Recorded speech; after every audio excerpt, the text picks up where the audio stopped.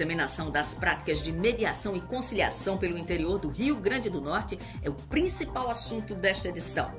O TJRN Notícias está no ar. Isadora é estudante do curso de psicologia e viu em uma oportunidade de estágio que poderia melhorar a prática de diálogo interpessoal na busca de soluções de conflitos por meio da mediação. Eu tive esse contato mesmo com a conciliação e mediação depois que entrei no fórum e tive a oportunidade de fazer o curso de mediação. E assim, confesso que eu fiquei muito surpresa de ver que as técnicas, né, que as ferramentas que a gente aprende na mediação, elas são muito afins com a, atuação da psicologia em si. Esse curso de formação de mediadores, que envolve também os próprios conciliadores, a gente está fazendo em todo o Estado, inclusive com uma nova resolução agora, contando com a participação da Escola da Magistratura. E vocês estão vendo aqui em Mossoró, que tem a coordenação do Dr. Bueno, o último curso que foi feito já com a parte prática que nós estamos levando às comarcas da região, principalmente aqueles processos complexos. O objetivo da mediação é prestar assistência na obtenção de acordos, em um ambiente colaborativo em que as partes possam dialogar produtivamente. Paula foi da primeira turma de formação de mediadores da região oeste do Rio Grande do Norte. Com a efetividade do trabalho do Centro Judiciário de Solução de Conflitos do TJRN na comarca de Mossoró e cidades vizinhas, ela e vários mediadores puderam colocar em prática o aprendizado do curso de mediação. Uma turma já passou pelas suas horas teóricas e está em vias de formação prática. Então, estão fazendo constantemente várias audiências de mediação, tanto aqui como em comarcas vizinhas, como é o caso de Areia Branca, para que as suas horas teóricas sejam preenchidas e ele conclua com êxito esse seu curso. Se você tem interesse em atuar como mediador ou conciliador, pode obter mais informações no site do TJRN ou diretamente no Núcleo Permanente de Solução de Conflitos, o NUPEMEC. Veja agora outros fatos que marcaram os últimos dias no Judiciário Potiguar. O Núcleo Permanente de Métodos Consensuais de Solução de Conflitos do TJRN promoveu uma oficina de comunicação não violenta.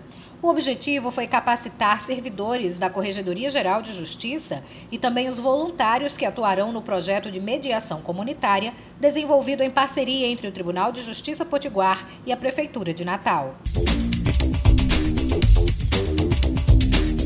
O Tribunal de Justiça do Rio Grande do Norte realiza entre os dias 23 e 27 de outubro a Semana da Baixa em Movimentações Processuais.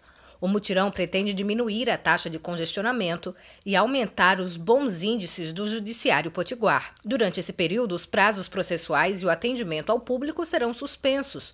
No entanto, as audiências e sessões já atrasadas, recebimento de petições iniciais, entrega de alvarás e exames de medidas urgentes pelo juiz da unidade continuarão a acontecer normalmente.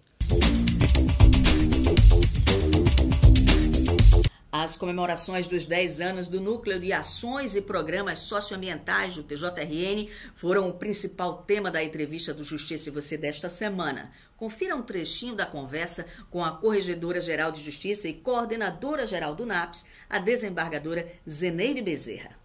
A gente andava nas instituições mostrando os programas e projetos e a credibilidade foi acontecendo até hoje, que nós já temos aí um número bastante grande de, com relação à justiça e escola. Nós já alcançamos mais de meio milhão de crianças e adolescentes beneficiados com o programa. O Justiça na Praça é onde levamos os juízes, os magistrados em geral, os serviços e os servidores numa praça pública, juntamente com vários outros parceiros. E aí nós já, já quase conseguimos 900 mil pessoas que nos viram nas ruas.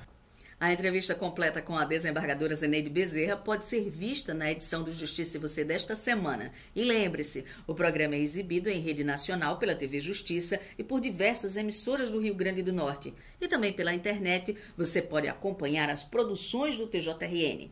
Confira o endereço aí na sua tela. O TJRN Notícias termina aqui. Lembrando que para continuar bem informado, basta acompanhar as notícias do Poder Judiciário a qualquer momento pelos nossos canais na internet. Até a próxima.